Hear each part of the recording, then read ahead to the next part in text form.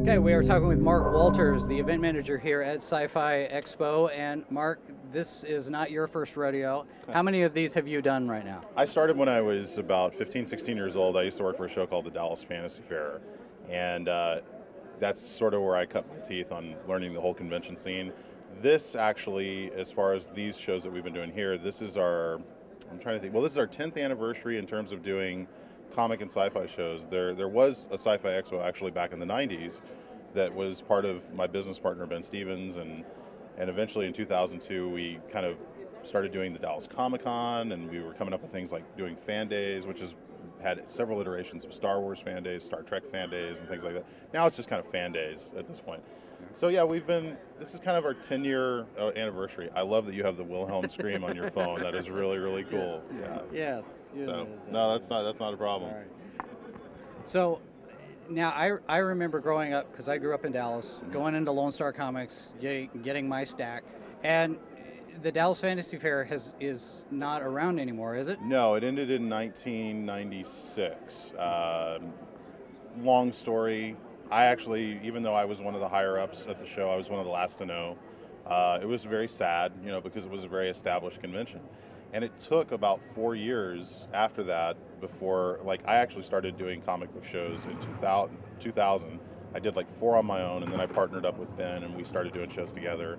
Um, but you know, it was really hard getting the crowds to come back out because I think they felt that after what had happened with the Dallas Fantasy Fair, they were a little disenchanted with the whole convention scene. So it's it's taken a little bit of effort to get them back out, get So- them out of the house. You know. Crowds are pretty good on this one. I- I'm, I'm looking, I'm seeing some a steady flow. How, how would you measure this one compared to the other events? Well, I tell you what, uh, the first Dallas Comic Con we did here at the Irving Convention Center, which was May of 2011, we broke all attendance records for the Dallas area. I think at the Dallas Fantasy Fair, at its height of popularity, had 9,500 people. We had 12,000 people last May, so that was probably the largest attended show anywhere in the Dallas Fort Worth area.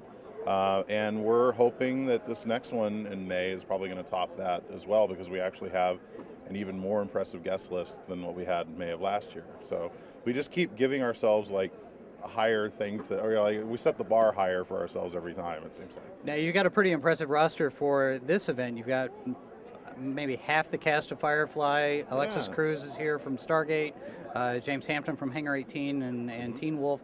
Uh, a lot of artists here, Mark Brooks and, and Joe Jusko behind us, Bernie Wrightson. Now, how, how difficult is it to get these people in? I know some of them are probably going to be a little bit easier than others, but your process is what? Well, you know, it's interesting. Uh, it, it, it's very strange to me in some ways because a lot of these guys aren't, I really just consider them to be friends. You know, Jusko and I are really good friends. We go back a lot of years. Bernie Wrightson and I, they're like family. I mean, Bernie and Liz, his wife Liz, they're wonderful people. Uh, you know, I when I when I'm not doing these conventions, if I go out to LA, I would stay at their house. You know, I mean, they, they're that kind of people to me. Sure. And so we've become good friends over the years. And, and to me, that's the most important thing about it because, you know, a lot of conventions it's just more of like a business relationship. But some of these guys, I almost really do consider them like like a member of the family. You know, Adam Baldwin and I, uh, we, we hang out. Like when we're not doing these conventions, we're hanging out having a cigar together. You know, he's he's he's that cool of a guy. And and like you said, you know, having like four different people from the cast of Firefly, it's it's really like a mini reunion because we've had individual cast members from Firefly. We've never had that many people from one show, you know, with maybe the exception of Star Trek The Next Generation. I think we had like four or five people once from that. I think Ron Glass was saying yesterday at the panel that this was the first time he'd seen Sean in, um, since the movie, I think. Yeah, Sean. Well, Sean doesn't do a lot of conventions, and and he was one that had been on our list for a while. So we're really happy we got him. Uh, we've had Jewel before, we've had Ron before, we've had Adam twice before.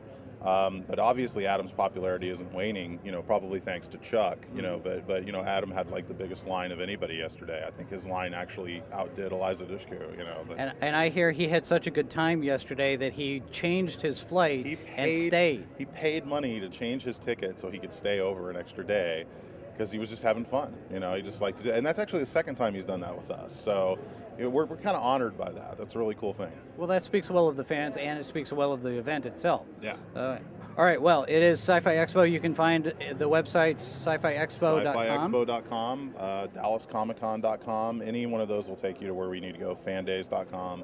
Um, we've got three events this year. We've got this one. The Dallas Comic Con is May 19th and 20th, and Fan Days will be October 19th through the 21st. Now, is Fan Days going to have a Star Wars theme again this year, or is it going to be something different? What we're looking at is we really want Fan Days to be an all-encompassing event. We want to just, you know, instead of just doing a Star Wars themed event or a Star Trek themed event, we want to try to get a little something for everybody. So you will see Star Wars actors, you will see Star Trek actors. Um, there's a couple of exciting things brewing.